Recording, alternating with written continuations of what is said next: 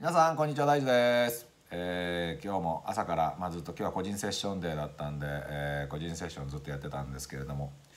いや本当幸せですねコーチングってね。なんかクライアントのあ本当はこれやりたいんだ。ねそしてこういうふうにね進んでいこう。なんかこう不安があったりとか混乱があったりしてまあそうかこれが引っかかりだったんだっていうことに気がついてでそれがねこの解きほぐれていく。でこの人とこういうふうにコミュニケーション取ったらとかこんなふうに進めていったらやれるぞってね、まあ、そういう気持ちになってこう出ていってそれ見ていいなとこう思うわけなんですけどね。あのやっぱね未来作ってで本当感動しますね。なんかこの人が描いた未来ね。だからこそ生まれる価値があって、ね、でこの人じゃない人がこれに近いことやってもまたちょっと違うんですよね。だから本当にみんなが自分の夢を描いて叶えてくれたらいいなと。まあこういう情熱でコーチングやってるわけなんですけど。なんかね未来描くとねどうしてもやりたくなることがあってこんな感じこう未来描くじゃない。でそれ実現した瞬間とかね。でやりきった瞬間っていうのを2人で強くイメージしながらこう聞くわけ。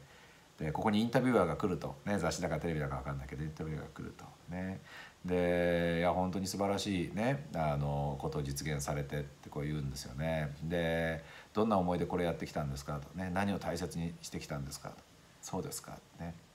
なんかねあなたの人生の中にねやっぱりこれをやることになったきっかけになるような出来事とか出会いがあったとすればそれはいつのどんなことですか？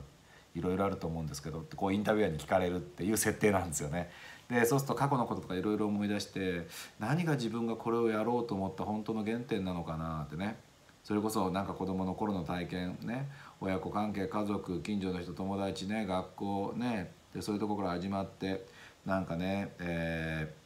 見たテレビだの読んだ本だのなんか出会った人だのね。で何か自分に起こった問題だの。ね本当に嬉しかったこと。なんかわーっとサーチしながらああそうかこれが自分がねやっぱりこの夢を実現しようってそういう生き方をしてきたね。このことを絶対にやるんだと